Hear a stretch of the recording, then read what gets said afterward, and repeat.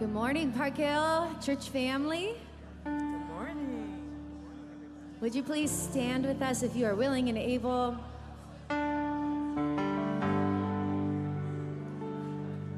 As we begin, let um, us collectively remember that it is God that calls us to Himself. It's an invitation from Him to be with Him, to be in His presence. And so, God, we pause, we slow down, we remember this invitation from you.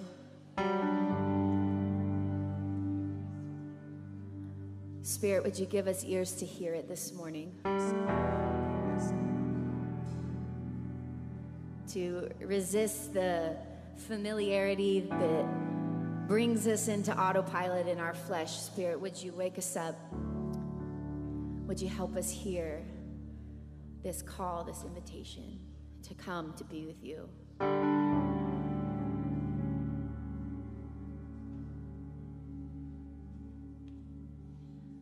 Let's sing this. To you, our hearts are open.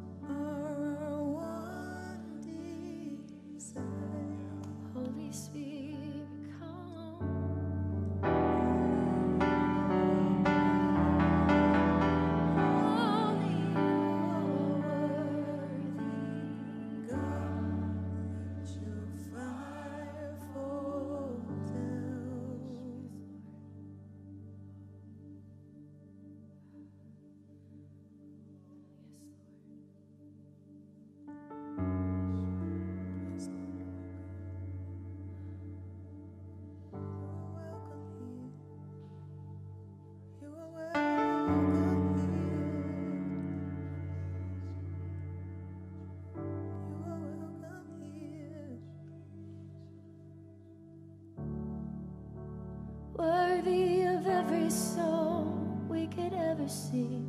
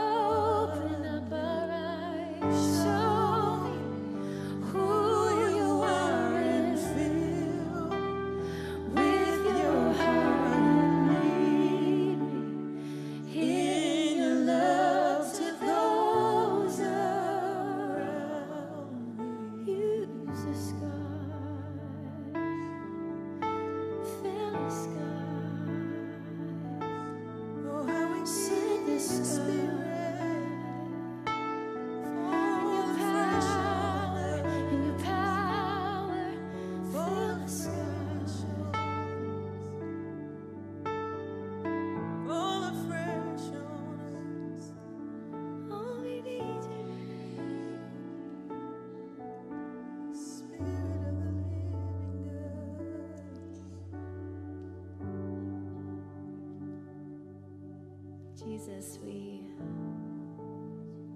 remember our need and our dependence on you this morning. That there would be no way to the Father apart from you. There would be no access to the Spirit, the source of all power, all goodness, all comfort, all truth. Jesus, we worship you.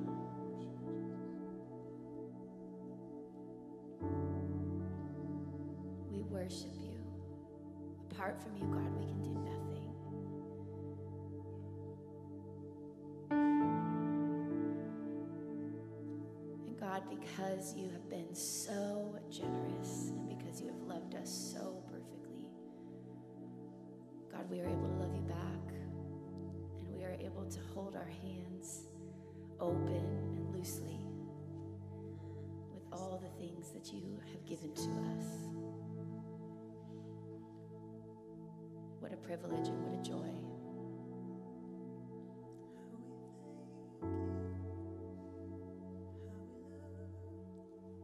Gratitude, God, we move into this next expression of worship.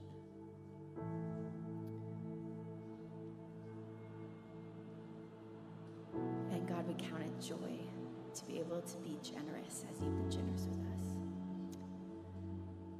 In Jesus' name, amen. Amen. Amen, Park Hill. Welcome this morning. Uh, we're so glad to be here with you. We're going to move into, continue in our worship, um, moving into our giving liturgy, our generosity liturgy. You'll be able to give either in the bowls, on the communion tables, or you can give digitally. But right now, we're going to um, pray this prayer of worship and generosity. Um, so if you can, join with me in, in reading. Holy Father, there is nothing I have that you have not given me. All that I have and am belong to you, bought with the blood of Jesus. To spend everything on myself and to give without sacrifice is the way of the world that you cannot abide. But generosity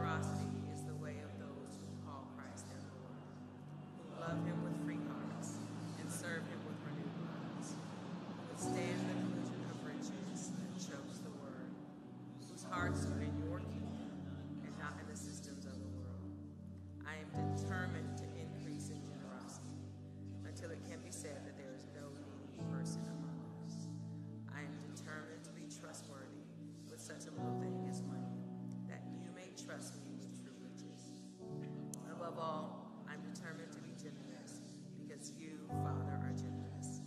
It is the delight of your daughters and sons to share your traits and to show what you are like to all the world. Amen. Amen. So now we are going to take a few moments and be generous with our time with one another. So we'll be back in three minutes. Please take this time to learn somebody's name, get to know someone, share coffee. All right, we'll be back. See you soon.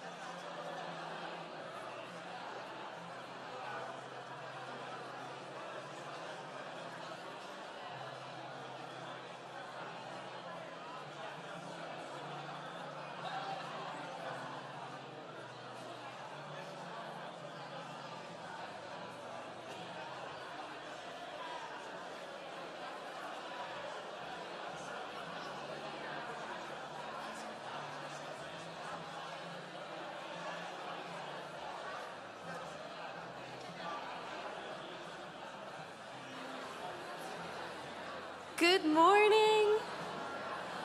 So good to see you guys. If you can make your way back to your seats, we'll get started in just a minute. Hopefully, you got a cup of coffee, were able to meet someone new, hug someone old.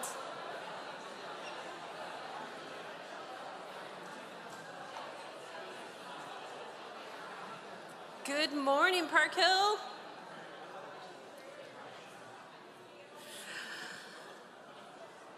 Let's just start for just a second. Psalm 33, here we go. We're going to keep the praise going. Psalm 33 Sing to him a new song, play skillfully, and shout for joy. For the word of the Lord is right and true. He's faithful in all he does. The Lord loves righteousness and justice. The earth is full of his unfailing love. By the word of the Lord, the heavens were made. Beautiful. Father, we just thank you. We acknowledge how great you are However, we're coming into this morning, whether it's with praise or with lament or with struggle, we lay it at your feet, and we're here in this moment expectant for your spirit. Amen. Amen. Good morning, Park Hill. How are you? Good. I'm Aaliyah. If we haven't met um, one of the pastors here, it's nice to see you guys. Um, if you have been here any length of time, you know that there are three things that we're about.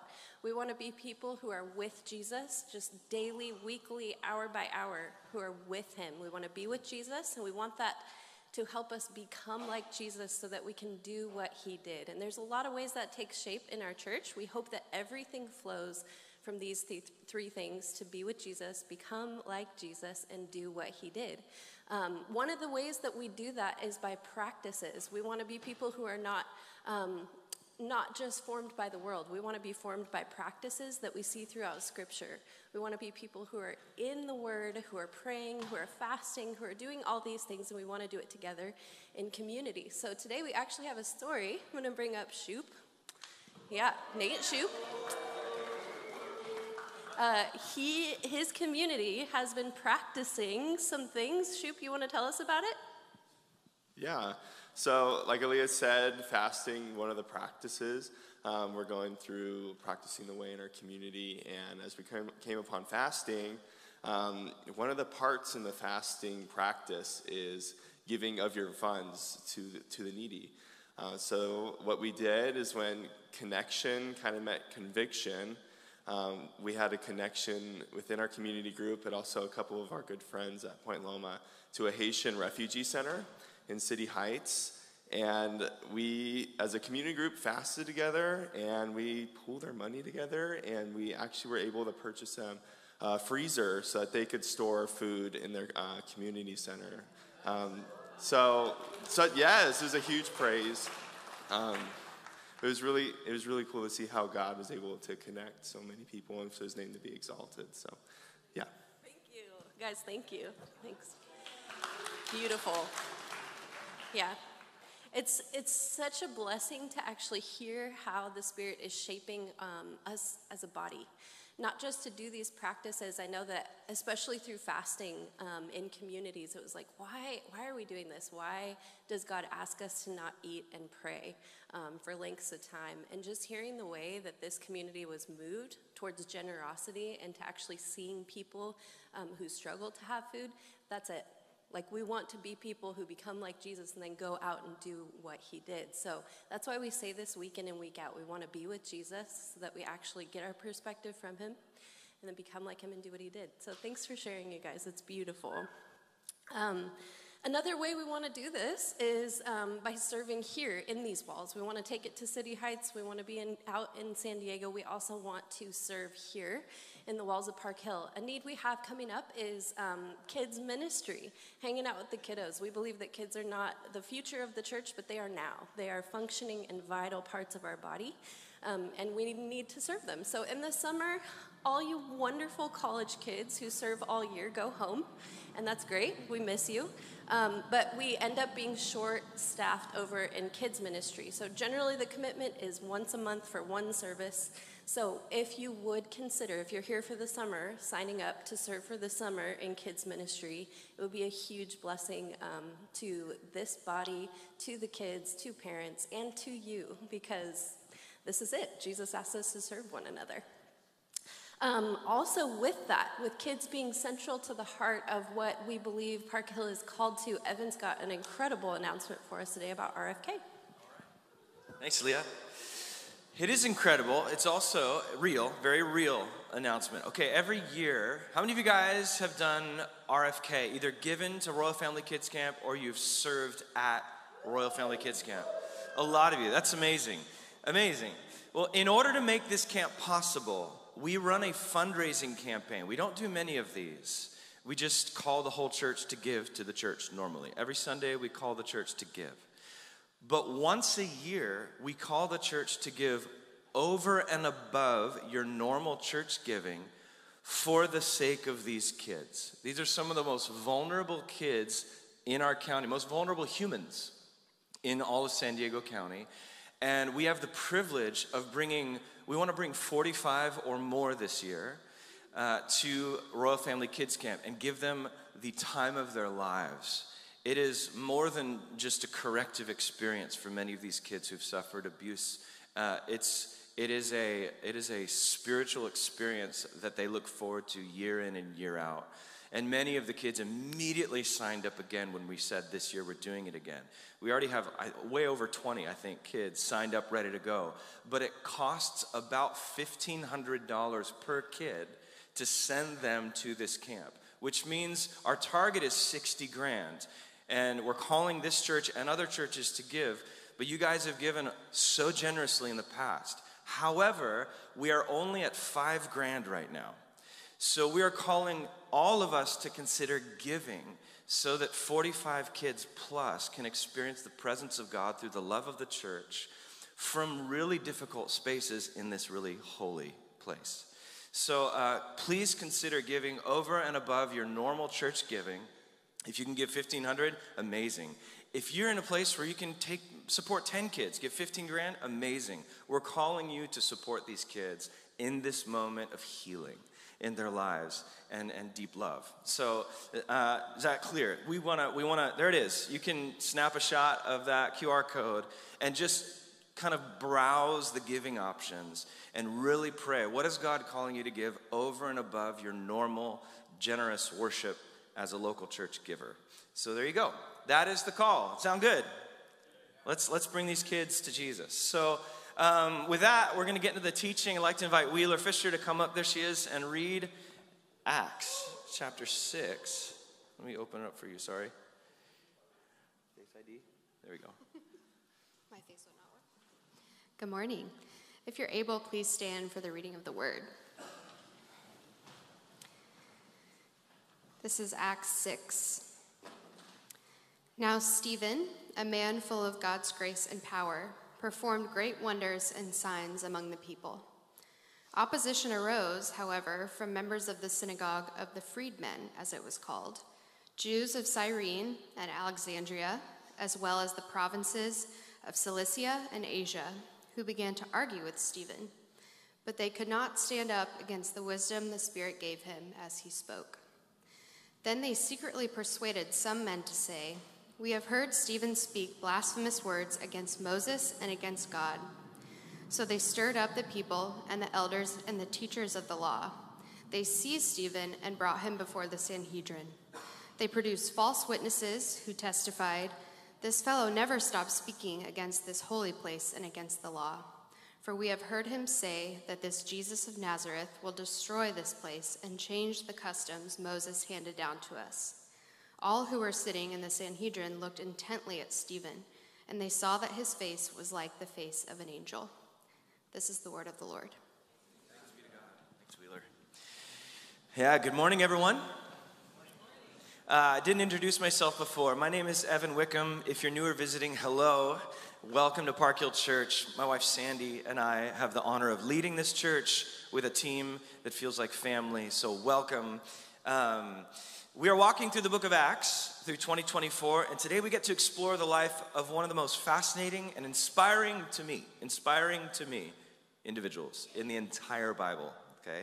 I absolutely love when I get to talk about this guy. I'm so struck by the life of this person. His name is Stephen. And he's one of the seven Greek speaking Jewish Christians we saw last week. If you're here last week, uh, he was one of the men chosen, uh, one, of the, one of a marginalized group within the church. This minority group, he was chosen from within this group to serve the whole church. Uh, and now Luke, the author of Acts, this guy Luke, he now zooms in on the life of Stephen for two whole chapters. So this guy gets two chapters of real estate in the book of Acts. And so I think this might be the first sermon I ever preached when we were pre launching Park Hill in the winter of 2017, about February. I gave a teaching on Stephen's life. Um, before Park Hill was even had a, had a name. And uh, then I've referred back to Stephen's life for a few New Year's Eve sermons since then because there's just something about him that screams like new life, new year, fresh vision, total potential for the kingdom and for influencing people for God's love. So uh, today we're gonna, the Holy Spirit has us looking at Stephen again. There's so much goodness here, okay? So who is Stephen? He's a typical person in many ways, unassuming, not one of the apostles. Again, he's one of the first deacons, not one of the apostles.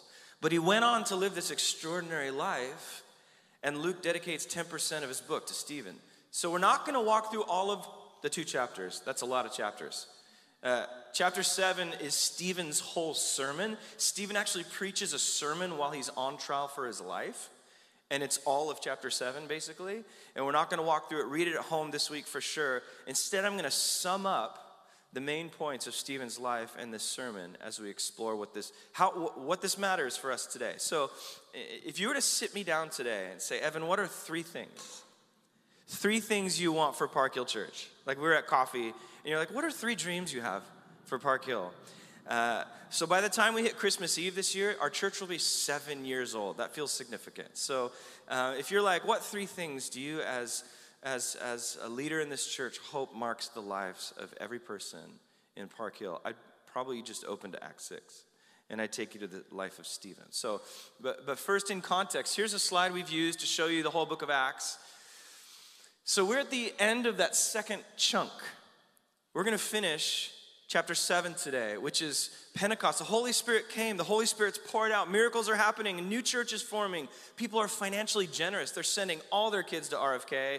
Everyone's giving all kinds of money to the church. And so, so there's all kinds of generosity, and, and new leaders are happening. But in Acts 6, we saw a problem last week, didn't we? Ethnic, cultural tensions were emerging in the church, people being excluded on the basis of group identity. That was happening last week. Because the reality of life in church is it's messy. It's messy everywhere. Human life, humans are imperfect beings. And so uh, there's this tension between the Greek speaking Christians and the Aramaic speaking Christians. They start to faction off. And so they pick one of the non dominant group, the Greek speaking Jews, and, and he's Stephen. They pick one of these guys, Stephen, and they raise him up from the marginalized minority becomes this extraordinary influencer. Uh, so we don't know much about him. He's a normal guy living his life, and he finds himself suddenly thrust into the spotlight here. This is why I love this passage. Stephen's not some full time preacher or apostle. You can't hold him up and say, well, obviously, Stephen, he's one of the founders. He's one of the guys who walked with Jesus. No, he didn't. Why is this important? Because Stephen is who the Holy Spirit has in mind for like the normal church person, not a full time pastor, and he's living, he's, he has a commute to work. He's like you. He lives and works and commutes all while being full of the power of the Spirit used in phenomenal ways to bring in the kingdom of God. So, my desire for our church today, I would love for every single one of you to leave this building today thinking, oh, Stephen did that? I could do that. Could totally do this. So, so for the rest of our time, three things. We're just going to look at three things, and that'll be the meat of our time. So here's the first from Stephen's life. Number one, he was filled with the Holy Spirit. We cannot miss this. He was filled with the Holy Spirit. So, my first prayer for this church for the rest of 2024, you would resolve in your heart I'm just gonna grow in understanding who the Holy Spirit is. He's not scary. He's the best possible person who can intimately know you and you know. And I'm just gonna grow in understanding who the Holy Spirit is and what He's capable of doing through my life. So, can we resolve in our hearts as we prepare for our seventh birthday now? I don't know why I look at our church years like this, but seven years, it feels like a moment eh, of completion, you know? And, and this year, I'm gonna complete, I'm gonna upgrade my understanding of what it means uh, for the Holy Spirit to flood my life. And so, this is his number one cr- credential. Here it is, verse 5. The proposal pleased the group, and they chose Stephen. What was his credential? Full of faith in the Spirit top of his resume. They weren't like, oh, he's an exceptional citizen. Or like, he's made a bunch of wise business moves. He started, he's an entrepreneur. That was not his thing. Um, he had no portfolio references from his networks. He's just a normal person elected to serve the church as a leader because he's marked by the presence of God, the Holy Spirit in his life. And then again in verse 8 now, Stephen, a man full of God's grace and power. That's the presence of the Spirit, signs and wonders. And then verse 10 again, they could not resist the wisdom with which he spoke. So the Jewish leaders that were confronting Stephen, they couldn't resist his wisdom because of the presence of the person of God in his life. Normal person, Holy Spirit comes on him, extraordinary power. So, how do we know we're marked by the Holy Spirit? How do you know? When you see someone full of the Spirit, what are you, what are you looking at? Just think of the fruit of the Spirit, right? It's self sacrificial love, joy, they're joyful, they're peace, and there's patience. It's someone whose default setting isn't sarcasm, but kindness. Goodness, they're faithful, they're reliable, they're trustworthy, they have self control, right? So, question when you think about your own life, how much of that is present in your life?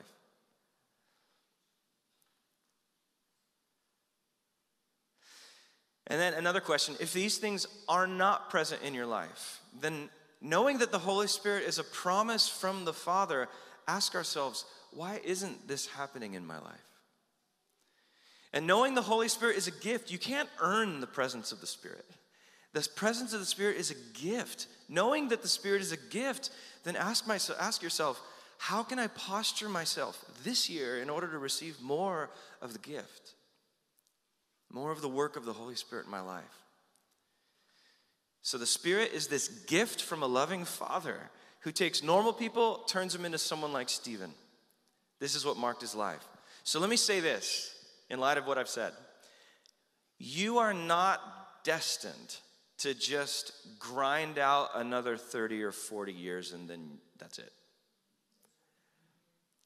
That is not your destiny. It's not just you with the same habits. You look into the future, like, I'm just gonna have the same tendencies and same frustrating patterns, and then I'll just go to heaven when I die and finally be made perfect.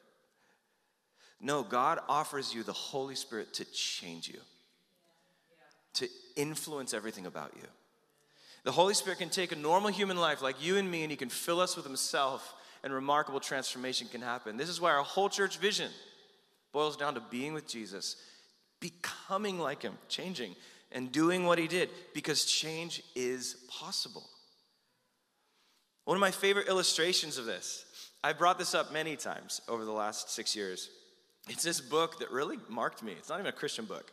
And it's called Living with a Seal. It was like New York and LA Times bestseller. I don't know if you read it. The story about Jesse Itzler, this New York entrepreneur guy. Uh, in long story short, Jesse Itzler, he, he's the guy who started Zico Coconut Water with, with his buddy Matt Damon. He's like this famous guy. Uh, so Jesse started coconut water when coconut water was not a thing. And, uh, and he, so he's this, this outside the box thinker, and he's running this ultra marathon, and he sees this Navy SEAL running the marathon with him all by himself. Jesse had a relay team, this Navy SEAL had himself. no relay team for like 120 miles. And it was actually happening in the San Diego Zoo parking lot. They're just running laps for two days. Not led by the Spirit. That sounds like a bad time. that is not Holy Spirit led. But, but Jesse was doing this. He's like, who is that guy? Turns out he's, he's David Goggins, this hardened Navy SEAL, just amazing. And um, Jesse's like, David, I just want you to live in my house and train me 24 7 for like 30 days straight to be like you. I just want to be you. And so, so you read the book, it's wild. Like the seal makes Jesse do crazy stuff, like, you know, uh, multiple 10 mile runs a day, sub zero blizzard runs, and spending whole nights sleeping in a hard chair, impromptu cold plunges in frozen lakes, just on a whim. Uh, great book, very fun. Horrible things I would never do. And at, at the end of his experience, so at the end of his experience, this is what Jesse says. He's like, the SEAL, this Navy SEAL taught me when you're absolutely physically done and you've hit the wall, you are actually at 40% of your physical capacity.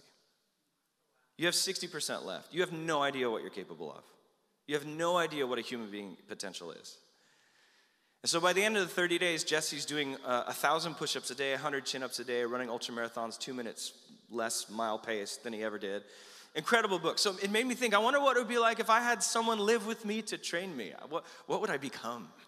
I'm like, I want, I want someone to live with me. And then, you know, I'm thinking kind of, and then I go into spiritual mode and I'm like, I wonder what would happen to my discipleship if Jesus Christ of Nazareth lived with me for May of 2024.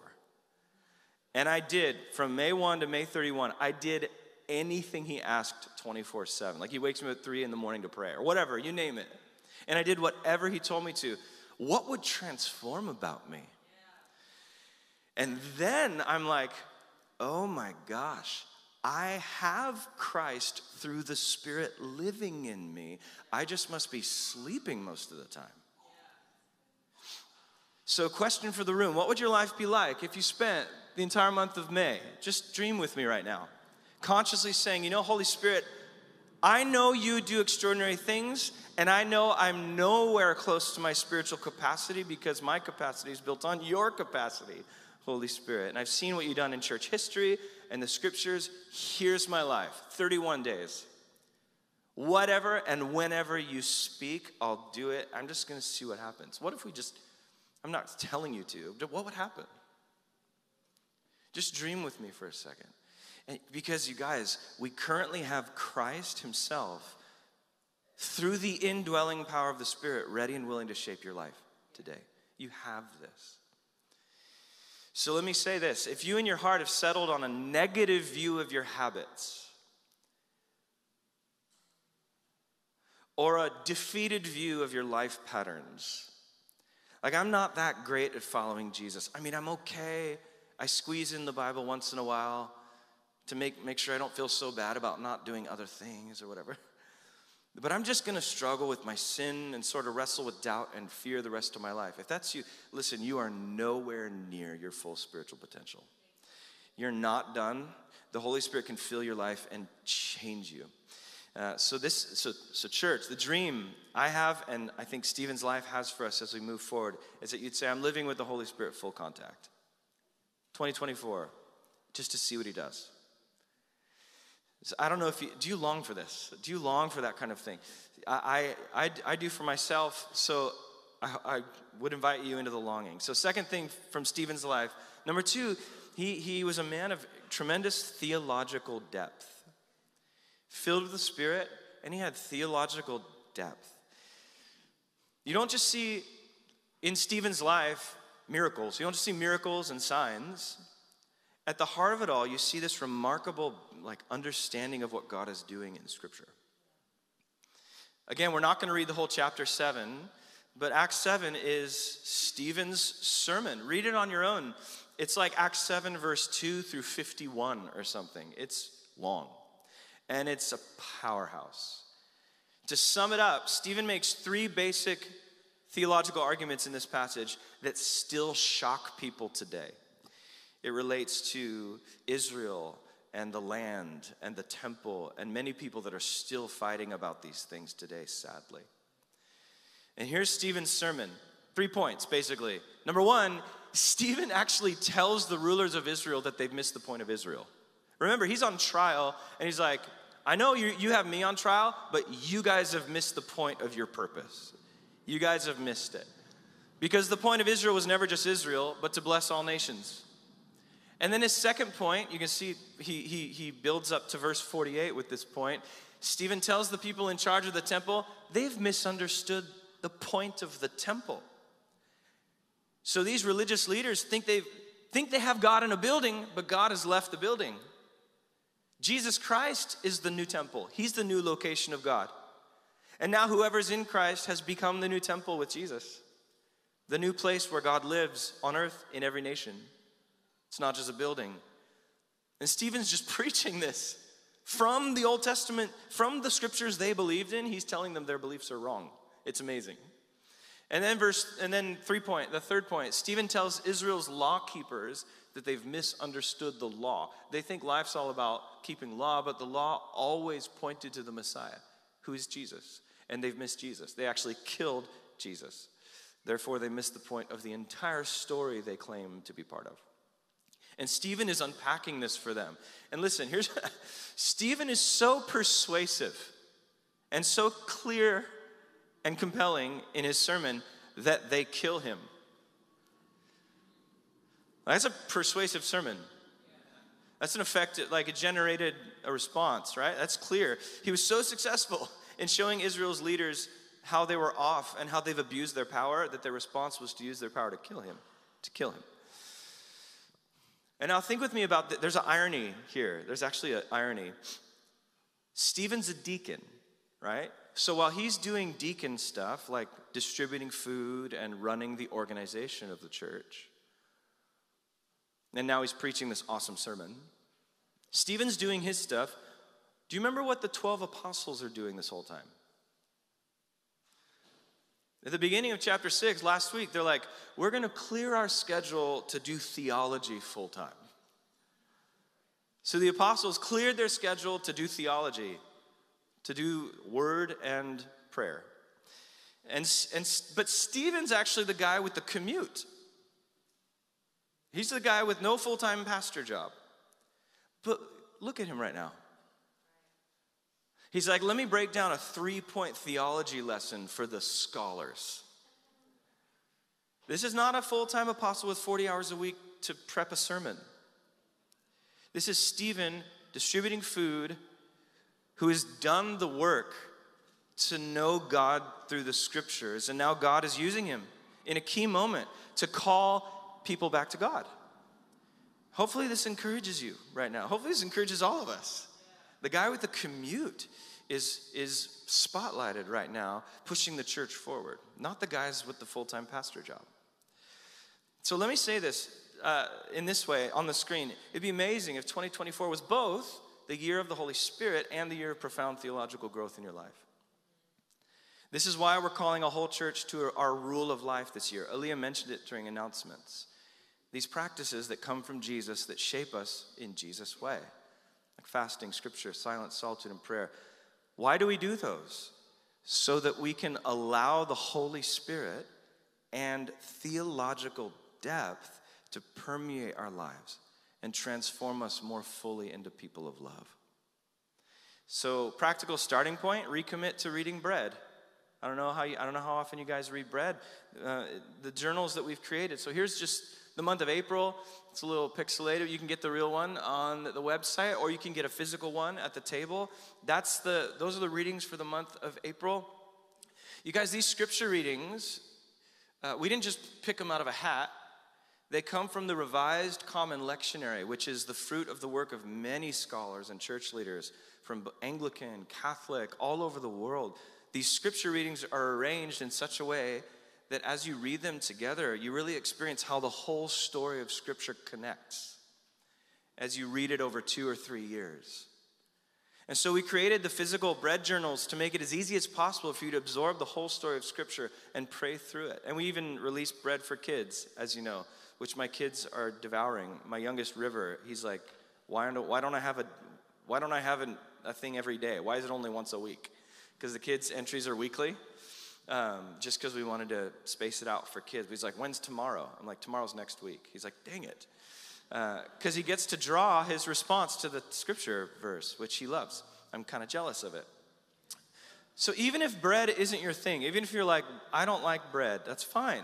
There are tons of apps and books and websites, PDFs, charts, podcasts for knowing what the Bible is doing to start wrapping your, life, your mind around okay, here's what the biblical text is trying to, to do and say. And honestly, I think these days you almost have to intentionally avoid reading a Bible plan to not read one. Like your notifications are telling you there's a Bible plan, you know? You have to like silence your phone to, on purpose to not know about Bible plans. It's like what a time we live in, right? so, uh, and, and here's another way to grow in theological depth for everyone. Commit to revisiting all the Bible Project resources. Uh, how many of you have seen those animated videos on YouTube from the Bible Project? Did you know they have classes? The Bible Project actually has classes, not just videos. Uh, and, and the Bible Project podcast, it might be the best thing on the internet, in my opinion. So I love their mission, helping people experience the Bible as a unified story that leads to Jesus. You guys, this year, can you, can you read that? This year, can we just remind our hearts what that means? Experience the Bible as a unified story that leads to a person, this person we claim to be all about.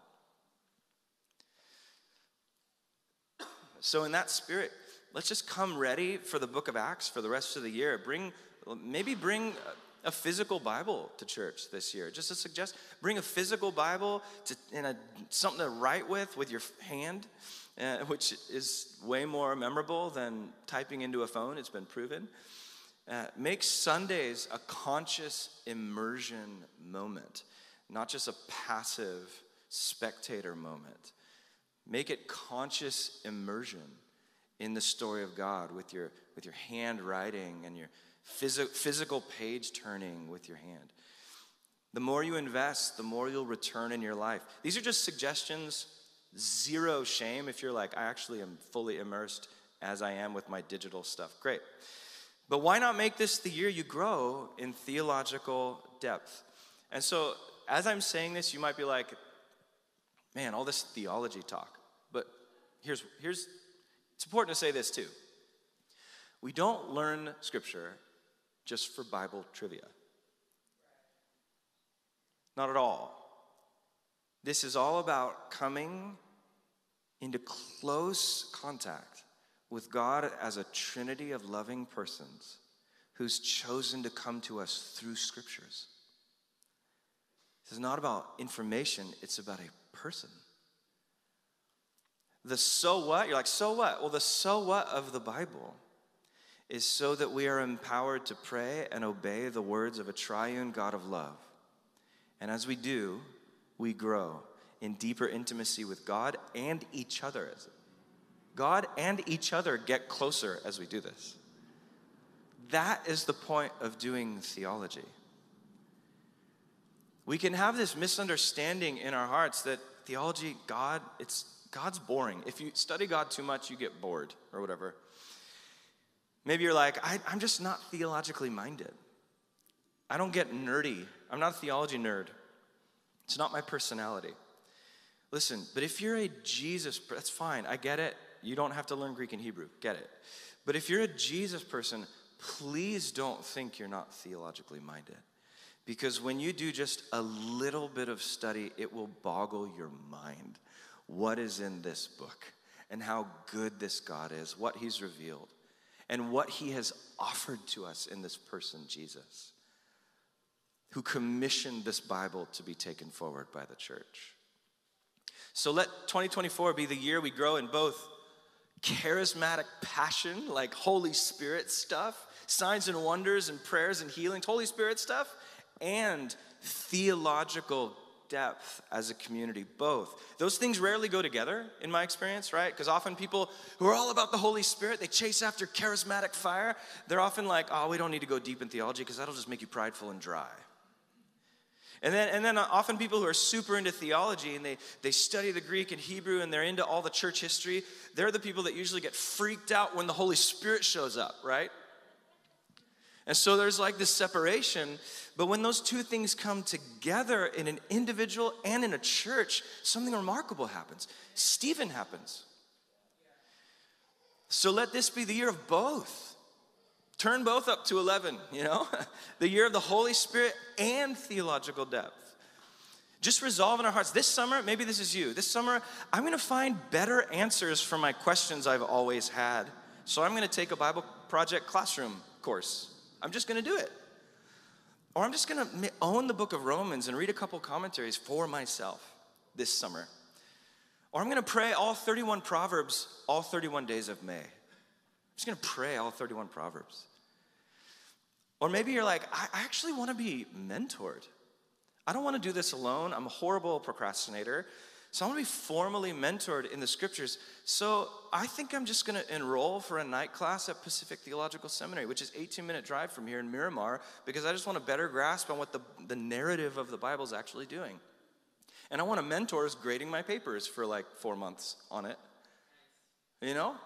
And so, whatever that looks like for you, this is something I personally had to do for my own spiritual and emotional health in my 20s and 30s. I grew up in a church culture that held really tightly to some niche secondary views. Uh, views about creation that don't appear in church history and don't align with science.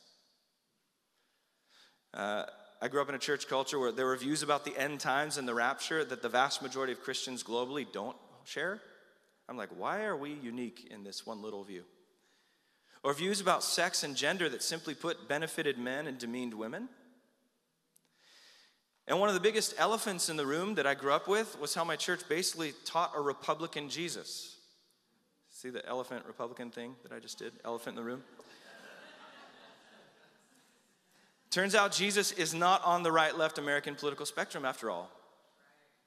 But I didn't know how to separate that. I needed to be trained, I needed to submit to an environment of in- integrity, theological integrity. And all this was leading me toward a faith crisis, call it deconstruction, call it existential doubt, whatever you want to call it. I desired to know and love God revealed in Jesus. And I also knew I wasn't going to get to him by staying in my own echo chamber. So I had to find a community, a seminary, mentors, elders who I could submit to. And I gave them permission to tell me when my reactionary deconstruction attitude was unchristlike. I gave them permission to tell me that because I respected them enough to, to actually respond. I respected them enough to change when they encouraged me to change, all while I'm reading for the sake of loving people and loving God. This is the point of theological depth. It's not just to know Bible trivia or to be in the right tribe, it's to know the real God. It's to know the real God, truly, and to know the real me. The real me who God has made. That's in the Bible too. And to know the family of God and to let the family know the real me. That's the point. As I grow in humility and my ability to love God and other people. And the only way that could happen for me is if I got off Twitter and put down the deconstruction podcast echo chamber and immerse myself in flesh and blood, real life community alongside millions of other people chasing intimacy with the trinity of loving persons through the text. It's the only way. And you guys, when you wake up to that purpose, you suddenly have this desire, a true desire for theological depth, empowered by the Spirit for the purpose of loving, loving God and others. This is what we're talking about. So, coming to the end of this second point, if whatever that looks for you, let's resolve it. Can you resolve in your heart? Can we all resolve in our hearts? This is the year of theological depth for me, for the sake of love. Like I used to joke with people, I used to joke with people in our church. I suggest we even have theological dating standards. so, like, side note, at, at, last week's basics class, someone asked the dating question because we have texting questions. Someone texted, Does Park Hill have a stance on dating? Like, do we have like a dating guide, like church dating guidance? And the answer is no. Uh, dating, obviously, as we know it, was basically invented by your grandparents' generation. It's super new, so the Bible isn't interested in the topic. But I like to say I like to say this. I jokingly say, as a part of the dating requirements of the church, we should have like a scale of theological depth. Like, okay, that guy's incredible, successful, he takes care of himself, but he's only a two at theological depth, so I'm gonna have to swipe left or whatever. I just, I say that to say we need some categories for this. We need a framework for thinking of this. I, I think that's true. And obviously, the dating thing's a joke, but third, last thing from Stephen's life Last thing, he had this just compelling and difficult but beautiful blend of courage with humility. Both. Can, can we just say one, can we say the word both together? One, two, three. Both. That is a rare combo. There are plenty of keyboard warriors and comment section invaders. And we can find, and, you know, there, we can find plenty of courageous people online who are really just jerks. And you can find plenty of seemingly humble people who actually don't celebrate the reality of God, who don't stand for God at the appropriate time. So, both. Both. Stephen is a model of this. So, let's start with courage. Look at the end of Stephen's life. The end of this story is the end of his life. He actually dies. He dies at the end of this chapter. First guy to die for the gospel in Acts. He stops like this. He, he ends like this You stiff necked people. Your hearts and ears are still uncircumcised. Uncircumcised is a bad thing for a Jewish mind, in a Jewish mind. It's like you don't, you don't actually belong the way you think you do. You're not part of what God is doing in the world. Uh, you are just like your ancestors. You always resist the Holy Spirit. Was there ever a prophet your ancestors didn't persecute? They even killed those who predicted the coming of the righteous one. And now you've betrayed and murdered him, you who've received the law that was given through angels, but have not obeyed it. And so, think of the most influential voices in your society. How much courage would it take to stand before those authoritative voices? In your culture and rebuke them. Incredible amount of courage. To stand there at the time you're called to stand there and to say the reality that you know is real in the name of Jesus. We live in a time when it can be very difficult to live with courage to humbly speak truth because everybody wants to be liked. No one wants to be canceled. So here's Stephen modeling the Christ like way to speak truthfully about sin and doing it completely humbly. Not as a keyboard warrior. What's a problem with a comment section truth teller? Zero relationship, zero community, zero responsibility to them as a person other than your 18 words that you're texting in their YouTube comment section. That is not courageous. But so Stephen doesn't do a keyboard warrior. He does it as a fellow Jewish citizen standing in person on trial for his life with skin in the game and love for his leaders. We have to have a vision for this. This means growing as a culture of trust in our communities where we both freely confess sin and joyfully call each other out of sin. Both. We have to have a vision for this. And uh, yeah, I get that. Inviting someone to turn from sin, have you ever done that? Have you ever like come to someone inviting them to turn from sin? That's not a sexy thing to do. It feels like confrontation. Right? Doesn't feel sexy. Who here feels super great about confronting sin? It's just like your thing. That's your wheelhouse. That's like you, you're very, you're used to it. It's a muscle you've worked out, you're used to it. I'm suspicious of you if that's true. Uh, but at the same time, we have to have a heart and willingness for this. There has to be a heart and willingness. There has to be an expectation that in communities of trust, open conversation about the reality of sin in the camp is expected. Because it's not the church of Jesus and the church of all our opinions. It's got to be all Him. Jesus is Lord of all. And again, third time, I want to say this very repeatedly. I sound redundant now. Stephen is not just a sin confronting keyboard warrior or call out culture guy. He's humbly confronting sin in his own Jewish brothers, and it cost him his life. It will cost no one their life to post a disagreement online. It cost Stephen his life. So, as, as the family of Jesus, we have to remember that the Christian life is about self denial, not self fulfillment. The Christian goal, the way Jesus ended his life, was crucified as a political figure in front of everyone. Do you realize we follow a man all the way through? If you're a Jesus follower, you follow him all the way through, which means you follow him as a crucified political figure in front of the entire state he was part of. So, if our number one goal is to be liked by everyone, we're in the wrong faith.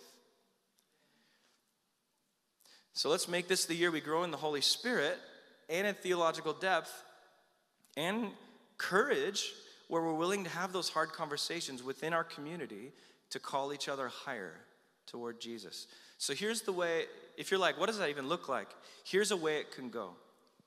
If you're a Jesus follower and you're willingly cultivating sin in your life, someone needs to come in on that. Like for real, to step into that with you. Why? A big reason is because people should not be disillusioned by the church because of your character. People outside the church can disagree with our doctrines, that's fine. They can dislike our liturgy, that's 100% great. But they'd better not be disillusioned by our character. And as we do this, as we call each other to the truth, listen, our truthful stances do not matter without a humble posture. Again, here's the humility piece. Here it is Stephen, after he pokes the hornet's nest, well, how, how does, how, does he, how does he respond? So they, they, they come to kill him, and he's like, Lord, forgive them. Do not hold this sin against them. What sin? The sin of throwing rocks at him until he bleeds to death. He's like, Lord, don't hold this against them. Forgive them of this. Welcome them in. Welcome them in. Save them. How much of, how many of us love our enemies and our cancelers like that? Some people love fighting to the bitter end and arguing to the bitter end, but here's a guy who embraces the conflict with conviction and courage, but is willing out of total humility and grace to lay his life down on the other side of things.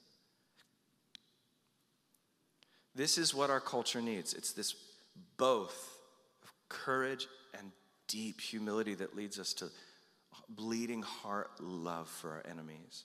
More than ever, we need that at the same time, especially in a year of heightened political tension, like we see. And after all said and done, as Stephen is dying, as his enemies are killing him, I, I think it's amazing that we see Jesus give, giving Stephen a standing ovation. Uh, here it is, verse 54. When the members of the Sanhedrin heard this, they were furious, gnashed their teeth at him. But Stephen, full of the Holy Spirit, looked, looked up to heaven and saw the glory of God and Jesus standing at the right hand of God. Look, he said, I see heaven open and the Son of Man standing at the right hand of God. This is the only place in the Bible where we see Jesus standing at the right hand of the Father in heaven. Everywhere else, Jesus is sitting at the right hand of the Father. But here he's standing as Stephen finishes his life well. It's like Jesus is saying, Man, that is good. That is how I did it. I relied on the Holy Spirit too. I understood the scriptures. I spoke truth with conviction, and I died in humility, asking the Father to forgive all my killers. And Stephen, you've modeled your life after me. Well done, man. Standing, well done. You guys, this is an amazing moment to be alive. This year, People are lonely. They've always been lonely, but we know so many people now because we're so interconnected. We see loneliness. People feel like life is passing them by, longing for family. People call online communities their family when there's, they've never been embodied in the same room. People are looking for a framework for how to make sense of suffering and difficult circumstance and how they fit into the meaning of life. And I'm like, man, as God's family, we have the answer for all that. Like, we have all that. We have meaning, belonging, family, peace through suffering.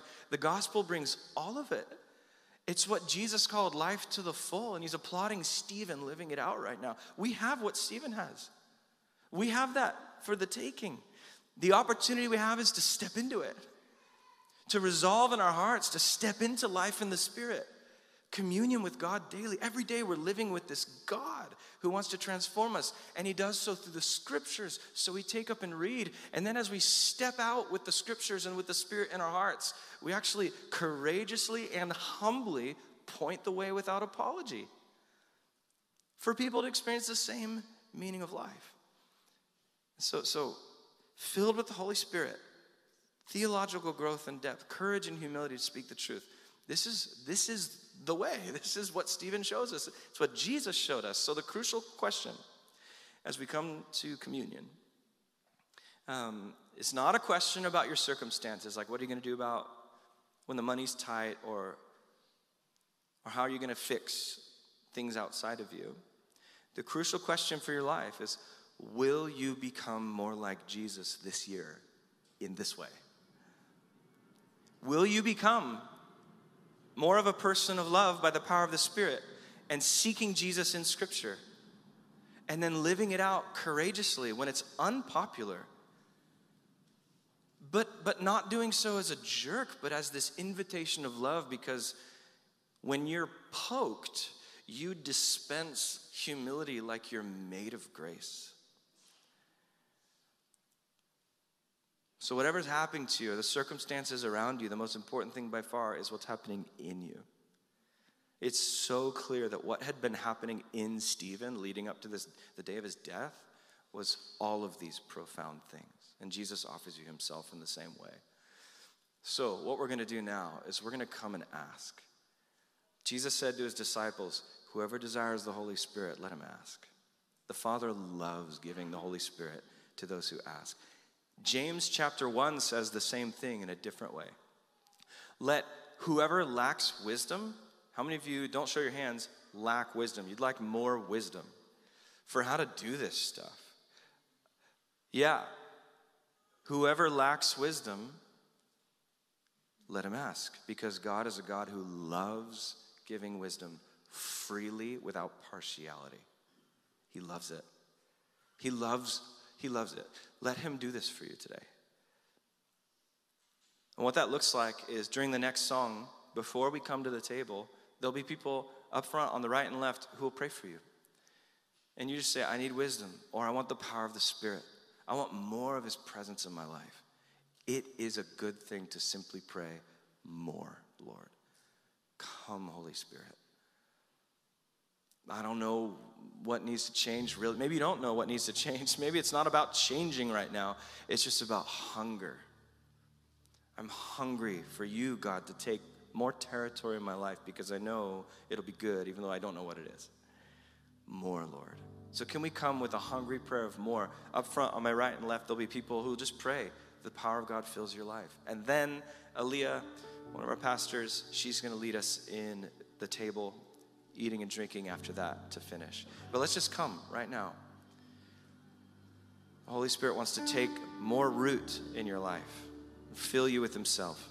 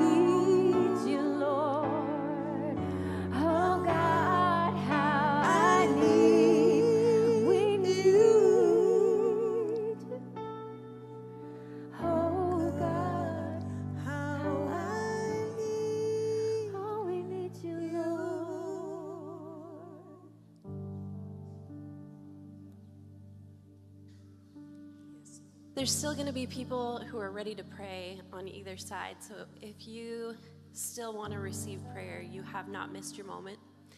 Um, but we're going to go go to the tables, get the bread and the cup, and then bring it back to your seat, and we're going to take it all together.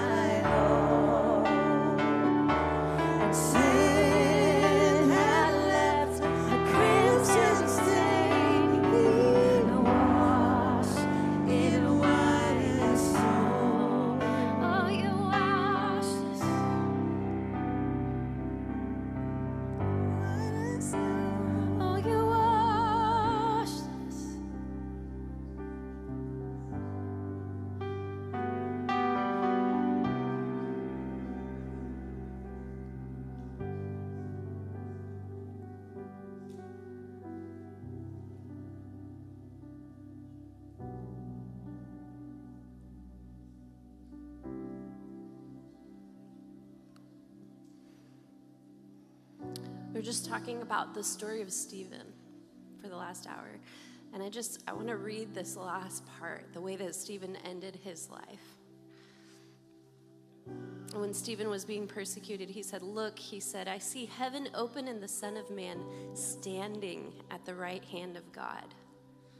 At this they, this, they covered their ears, yelling at him at the top of their voices. And they rushed at him and dragged him out of the city and began to stone him. Meanwhile, the witnesses laid their coats at the feet of the young man named Saul. And while they were stoning him, Stephen prayed, Lord Jesus, receive my spirit. And then he fell to his knee, knees and cried out, Lord, do not hold this sin against them. When he said this, he fell asleep. See, Stephen was emulating Jesus. He was able to see the beauty of Jesus and the Savior that we serve, the one who says, Do this in remembrance in me. We take the bread and the cup every week and we remember the broken body and the blood of our Savior. And he stood for Stephen. We serve a humble and lowly King who is willing to give us himself fully. So when we do this, we remember that we were given not just his death, but also his resurrection. And we get to follow in Stephen's footsteps when we, we enter into heaven. This is the goal. We would know our Savior deeply and we would look like him. So let's take the body. Remember that this is Jesus' body broken for us.